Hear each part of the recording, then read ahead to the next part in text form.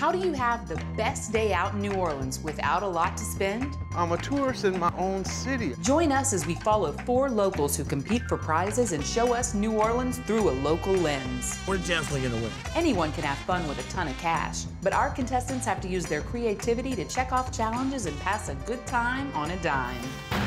That's the kind of date where you come out looking better, feeling better. Check out My Amazing Cheap Date, New Orleans.